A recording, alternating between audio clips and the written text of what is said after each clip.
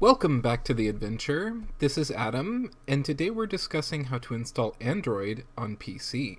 Android x86 is a project to port Android to PC for use with x86 processors. Today, we will be installing Android 8.1. To start, we will need to download the installation disk image. We will search for Android x86 and select their website here, go into the download section, locate version 8.1, and I want to download the ISO. Once the download finishes, we can head over to VirtualBox and create a new virtual machine. I'm going to choose Linux and other Linux here.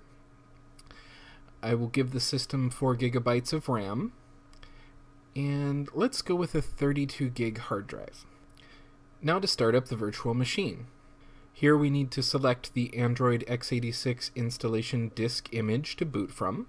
I will say no to GPT because I want MBR for use with the Grub bootloader. Next we will partition the hard disk. I'm going to select the entire drive, make it a primary partition, and select the option here for bootable. Select the write option, then we will select the quit option. I'm going to choose to format the drive ext4. From here, Android will start installing after the format is complete.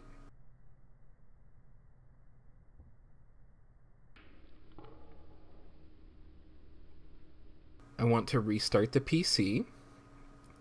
Here we are at the grub menu.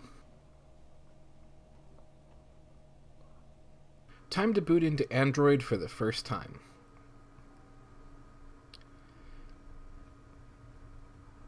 Press the down arrow so the start button is highlighted, then press enter. We will have a settings wizard to navigate through, and we will be using the keyboard for this. Press enter to skip the check for updates. I also want to skip connecting to Wi-Fi. The date and time are correct, so I will highlight the next button and press enter. I'm going to enter my channel name here.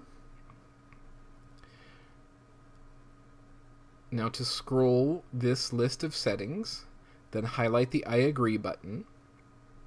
Now press enter. I will skip adding a Gmail account for now.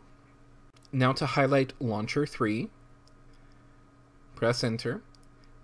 Then highlight Always and press enter. Here we are at the home screen for Android. Thanks for stopping by.